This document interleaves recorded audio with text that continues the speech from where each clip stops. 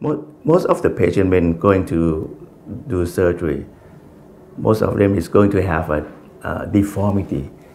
Deformity called varus like this or valgus of the knee.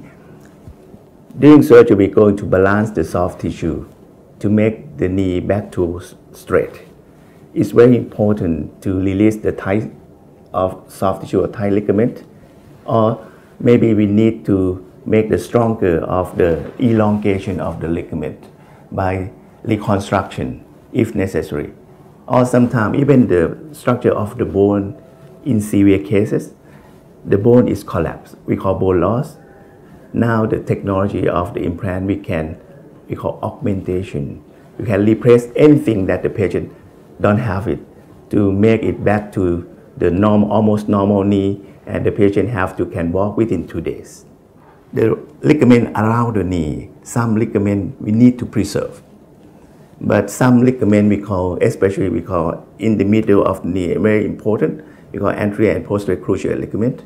Now there are design, many design with the, if it's not good, no ligament at all. We have the design of the process to function instead of that ligament. But if we PCL, we call PCL, so it's preserved. We have another design, special for PCL retaining.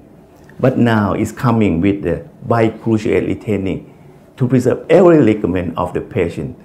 The objective of the new design to make the new knee after surgery almost the normal natural knee.